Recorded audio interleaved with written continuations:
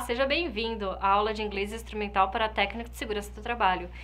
Eu sou a Clarissa Barros, professora de inglês, e hoje no nosso tópico a gente vai falar sobre cognates. E o que são esses cognates? Cognates são palavras, certo? Cognatos do idioma. Ou seja, cognatos querem dizer que ela tem a mesma aparência, a mesma escrita ou escrita similar, similar, e o significado também ele é similar. Ou seja, as cognatas elas podem ser cognatas ou não, certo? Então, bora lá. As palavras cognatas são aquelas que têm o mesmo significado e uma grafia semelhante em dois idiomas, enquanto as falsas cognatas são aquelas que possuem uma grafia parecida ou semelhante, mas o significado da língua, ela é na língua portuguesa, tanto na inglesa, ela tem diferenças. Então, quando a gente vai falar de palavras cognatas, a gente pode ter os verdadeiros cognatos e os falsos cognatos. Vamos ver agora as palavras cognatas. Lembrando, as palavras cognatas entre o inglês e o português têm o mesmo significado e grafia similar nos dois idiomas. Alguns exemplos são os seguintes, olha aqui, eu tenho a palavra comedy, que é comédia em português.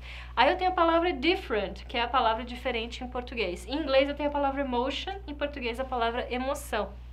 Future, em inglês, no português futuro.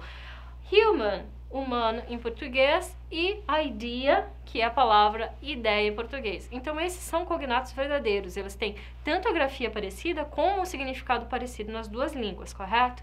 Agora, vamos passar para as palavras chamadas de falsos cognatos. O que são esses falsos cognatos? Os falsos cognatos não têm o mesmo significado nos dois idiomas. Eles têm a grafia parecida, mas o significado ele é diferente.